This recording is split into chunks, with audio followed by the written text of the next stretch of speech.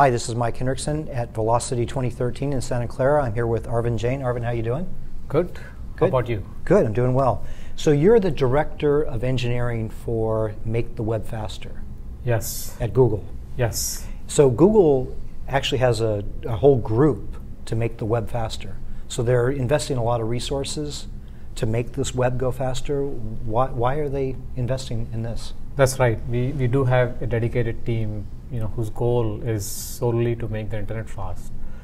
Um, you know, it's a really important problem for, for Google. You know, we really believe in making sure that we don't waste anybody's time on the web. You know, and in fact, you know, it is it relates very closely to our mission. Um, our mission is to organize the world's information and make it available and accessible to all the users. Um, and information is not really useful, you know, if it takes too long, you know, to come to the users.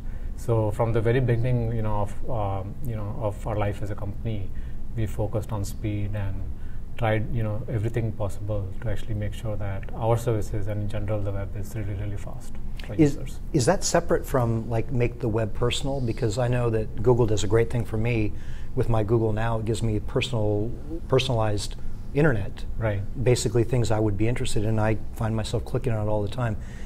Is that coming to me really fast as well? Are you guys speeding that up? Uh, this effort that I am part of is actually about making the internet fast, not just Google services, but any Any uh, internet any internet you know service that you use uh, from any device. So this is more about changing the core technology of the internet to make it faster, uh, and then we use this technology to make our services, for example, Google Now faster. Yeah, okay.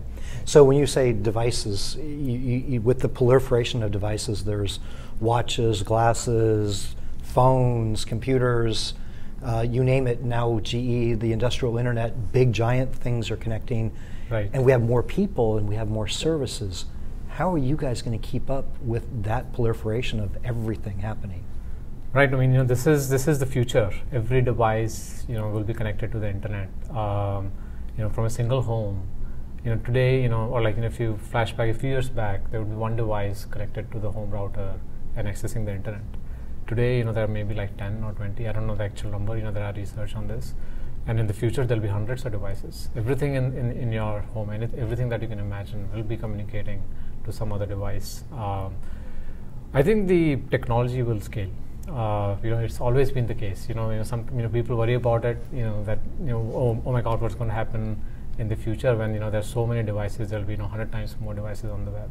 But the web will scale. The web has always scaled, and it scales because you know you know the technologists are smart and the whole industry actually works on this problem. So as the growth happens, everybody is working hard in, in making you know to make sure that you know the internet can actually scale to that demand. So is Google Fiber, and is that part of your group as well? Uh, Google Fiber is one of the things that I, I used to work on. I don't work on it anymore. Okay. Is that something that's going to come to more people in more places? Because to me, that's one thing that seems obvious to speed up the web, give faster connections to everyone. Yeah. Well, that- that's that's the goal for sure. Um, I, I'm not. Uh, I'm not. I don't know what the actual rollout plans are, but but I mean, of course, the goal with Google Fiber always has been to you know we want to provide it to as many users as possible. I mean, we have really good feedback from people. People love it. So and you know it's really good to you know for the speed of the web. So yes, I hope that in future it's available to more users. So, what is right now the biggest engineering challenge that you see in front of everyone in, around the world to speed up the web? Yeah, it's actually a very good question. Um, I want to you know uh, say something before I answer that. The our goal um, of what we're working towards at Google is to make internet instantaneous, so you don't have to wait anymore. You know, 10, 10 years from now, if you ask a kid, uh, if you tell him that, you know, 10 years back, you had to sort of, you know, you, you would go type a URL in, in the browser, and then you'll hit enter, and then you'll wait for five seconds, and then the page comes up. Or, or you, you know, or you, you know, you would click on a video link, and it takes one minute, you know, before it starts. You know, he would sort of, you know, just it will be hard for him to believe. That's what we're actually, you know, uh, aiming for. You know, we want the internet to be Instantaneous. instantaneous, and it's, you know, it's not a big thing to ask for. You know, TV used to be instantaneous. I think with digital TV, it's actually going backwards. But you know, you, you could flip a channel. There was no wait, right? Um, so we are actually very far away from it. We have to make things almost like 100 times faster to achieve that. Um, and today it takes on average about five seconds to you know for a page to load. Yep. We want it to take 50 milliseconds or 100 milliseconds. Yeah. Right. So that's a, that's a big improvement, and I think there is not one thing that will solve this. Um, you have to improve really all the elements of the internet, and that starts with you know this phone, um, the hardware on this phone, the software on this phone, which includes the browser. It includes you know the the physical networks through which this phone communicates to the web servers. Um, developers, you know, all the people who are attending this conference today, they need to actually really you know come up with new techniques to build web pages so that they're really really fast. Um, so it's, it's you know it's really you know I, I see challenges pretty much in every single area you know that makes Yeah. up the internet. Yeah.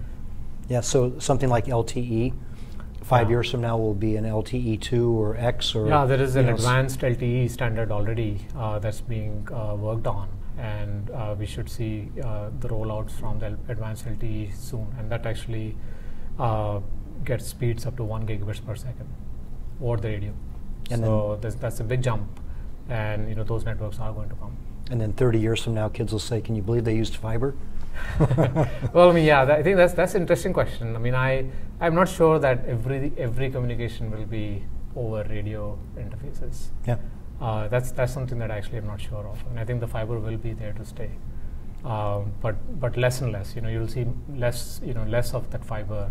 All the devices, for example, in your houses, they won't be wired, but the house itself may be wired. Yep. Yep.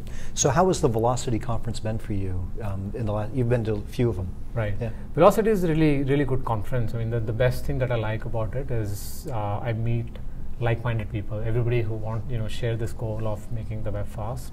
Um, I meet them here, and, and generally, you know, it's hard to meet them, you know, in this quantity, you know, this sheer the number of people that come here.